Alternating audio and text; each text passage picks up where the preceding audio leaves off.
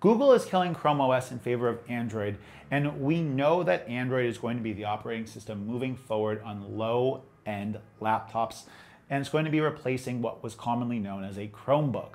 We also know that Samsung has a very close working relationship with Google, and oftentimes a lot of Google's newest features that are coming to Pixel also come to the newest flagship Samsung device at the same time, which is definitely a reason why I'm kind of leaving Google Pixel for another brand, although I'm not sure what it might be.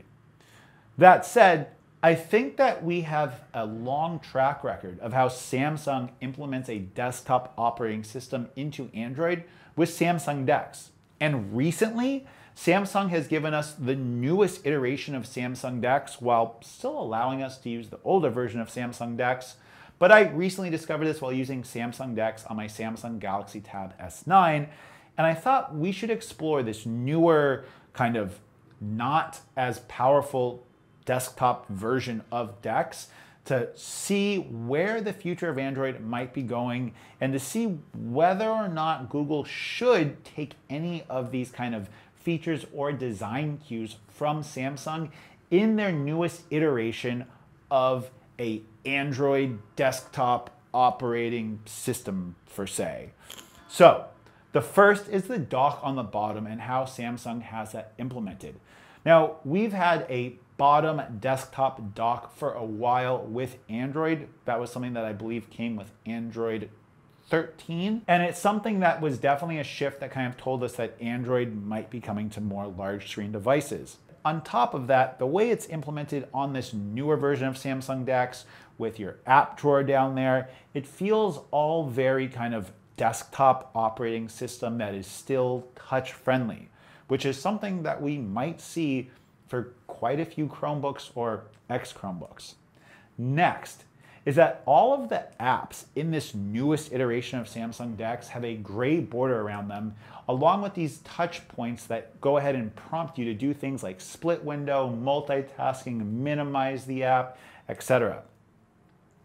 These kind of lead me to believe that Google might adopt some of these design cues to go ahead and tell users that this is a desktop operating system. You can split window stuff and you we we want you to multitask with this, which is something I don't necessarily like, but I don't necessarily dislike.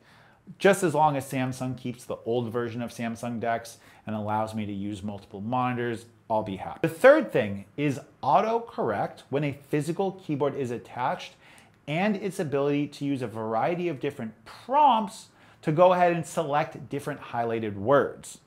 This is something that I think will definitely possibly make it to the next version of Android on a large screen device because it allows users to take advantage of powerful autocorrect and AI in the keyboard to go ahead and shorten typing tasks and allow you to better utilize predictive text typing or predictive typing and text when you're inputting text into a text box. Fourth is the redesigned app drawer, which allows you to scroll through different apps and app groups.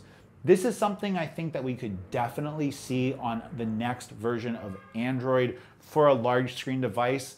I think that it's actually something that Google has already implemented on the Pixel Fold, and I think that app pairs might be a way that Google tries to differentiate itself from Apple and calling Android more of a power user desktop class operating system.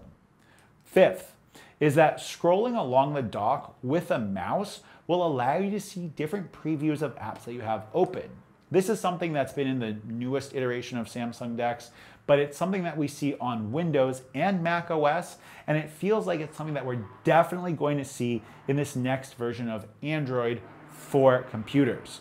Now, while it's too early to know exactly what Google is planning for this transition from Chrome to Android, Samsung's current implementation of DeX and the old version of DeX on Android tablets seems to take advantage of large screen and multi-windows while maintaining a touch-friendly UI and the ability to use both a mouse and your fingers with this overall layout.